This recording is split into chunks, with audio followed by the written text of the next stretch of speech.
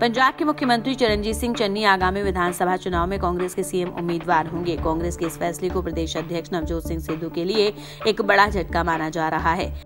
कहा यह जा रहा है कि सिद्धू फ़िलहाल भले ही चुप हों और चन्नी का साथ देने की बात कह रहे हों, लेकिन वो इतनी आसानी से हार मानने वालों में से नहीं है। ऐसे में सवाल उठ रहे हैं कि क्या चन्नी को सीएम फेस बनाने का फैसला सिद्धू को मंजूर होगा? आखिर नवजोत सिंह सिद्धू का अगला कदम क्या हो सकता है दरअसल, पंजाब में कांग्रेस के मुख्यमंत्री चेहरे के तौर पर चरणजीत सिंह चन्नी के नाम के ऐलान के बाद अब सभी की निगाहें पंजाब कांग्रेस अध्यक्ष नवजोत सिंह सिद्धू के अगले राजनीतिक कदम पर हैं। ऐसी अटकलें हैं कि सिद्धू को राज्य में कांग्रेस की सत्ता बरकरार रखने पर अहम भूमिका का आश्वासन दिया गया है। लुधियाना में मंच पर सिद्धू और चन्नी के बीच मिलनसार दिखने वाला एक दुर्लभ शो था। सिद्धू ने यहाँ तक कहा कि उनकी लालसा किसी पद की नहीं है। लुधियाना की वर्चुअल रैली में राहुल और चन्नी के सामने बोलते हुए सिद्धू ने मंच पर पार्टी के फैसले को स्वीकार करने की कसम खाई।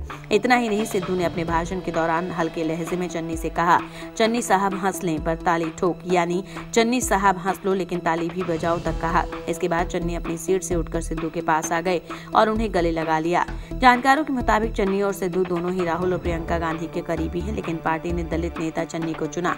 सिद्धू ने ऐलान के बाद खुशी में हाथ उठाकर चन्नी का उत्साह बढ़ाया।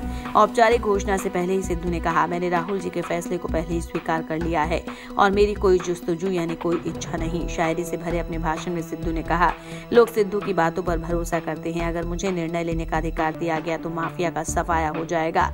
लेकिन अगर मुझे अधिकार नहीं दिया गया तो मैं मुस्कान के साथ सीएम का चेहरा बनने वाले का समर्थन करने का काम करूँगा। हालाँकि पार्टी में कई लोगों को यकीन नहीं है कि चन्नी और सिद्धू लंबे समय तक एक साथ काम कर पाएँगे। कहा जा रहा है कि चन्नी को चुनने का पार्टी का निर्णय सिद्धू को अलग थलग कर सकता है। इस ऐलान के एक दिन पहले ही सिद्धू ने कहा कि सही सीएम चेहरा चुनना पार्टी की साठ सीटों को जिताने में मदद करेगा। सिद्धू का ये इशारा भी काम नहीं आया, ऐसे में देखने वाली बात होगी कि सिद्धू का अगला कदम कौन सा होता है। इंडिया न्यूज़ वायरल की रिपोर्ट।